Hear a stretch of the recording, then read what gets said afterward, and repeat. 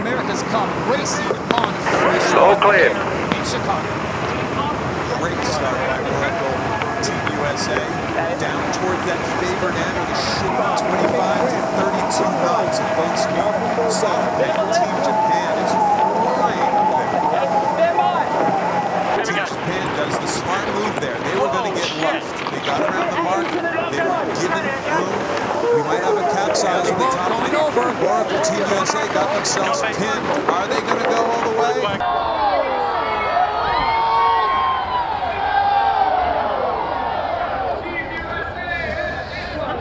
Practice, and we see another one as Jimmy Spithill of the squad. The Reds are immediately out there to the rescue, but all five are still. like to get on court, really. Oracle Team USA. They were the leg, I believe, but they're putting upwind somehow. They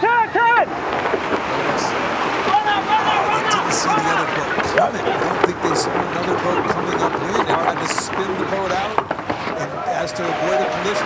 Nobody's looking. Nobody's looking. That scream of another boat coming. The leeward runner was already on, so that's pinning the wing in, and the boat's going to flip over every time. They didn't see the other boat coming upwind while they were going downwind.